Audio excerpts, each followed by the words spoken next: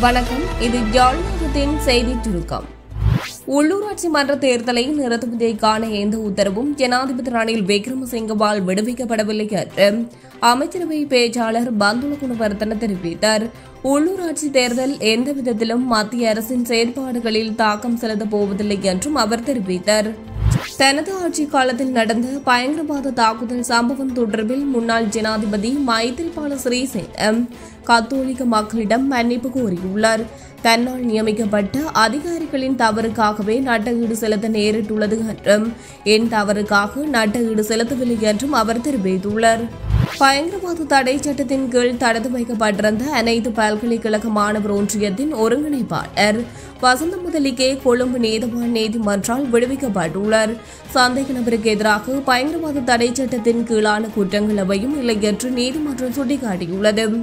கொழும்பு தனியார் வைத்தியசாலை ஒன்றில் வறிய மக்களை ஏமாற்றி சிறுநீரகம் திருடப்பட்ட சம்பவம் தொடர்பில் சந்தேக நபர் ஒருவர் குற்றத்தடுப்பு பிரிவு போலீசாரால் கைது செய்யப்பட்டுள்ளார். இந்த சம்பவம் தொடர்பில் இதுவரை நான்கு ஆண்கள் மற்றும் பெண் ஒருவர் கைது செய்யப்பட்டுள்ளனர் என்றும் போலீசார் தெரிவித்தனர். அனைத்து அரசு நிறுவனங்களிலும் ஊழியர்களின் எண்ணிக்கை குறைக்கப்பட்டு வருகின்றது என்று அமைச்சர் பாந்துல குணவர்தன தெரிவித்துள்ளார். இன்று நடைபெற்ற அமைச்சரவை முடிவுகளை அறிவிக்கும் ஊடகவியலாளர் சந்திப்பில் கலந்து கொண்டு கருத்து தெரிவித்த போதே அவர் இந்த தகவலை தெரிவித்தார். இரண்டாயிரத்தி இருபத்தி ஓராம் ஆண்டை விடவும் இரண்டாயிரத்தி இருபத்தி இரண்டாம் ஆண்டு அதிக ஊழல் நிறைந்த நாடாக இலங்கை அடையாளம் காணப்பட்டுள்ளது.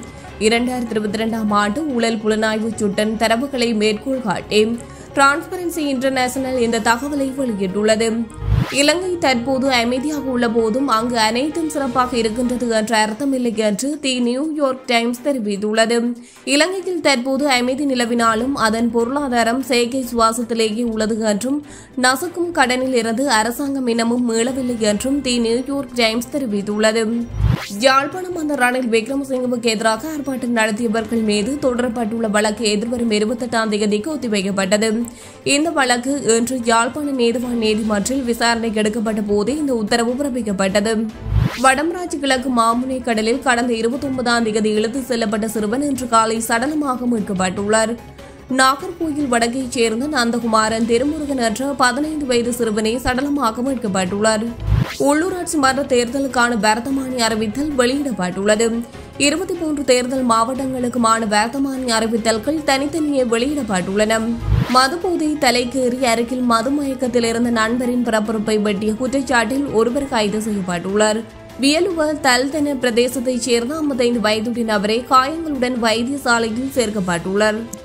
தாயகத்தில் நடைபெறும் சம்பவங்களை விரைவாக அறிந்து கொள்ள யாழ்நாதன் யூடியூப் சேனலை சப்ஸ்கிரைப் செய்து பெல் பட்டனை அழுத்தி இணைந்திருங்கள்.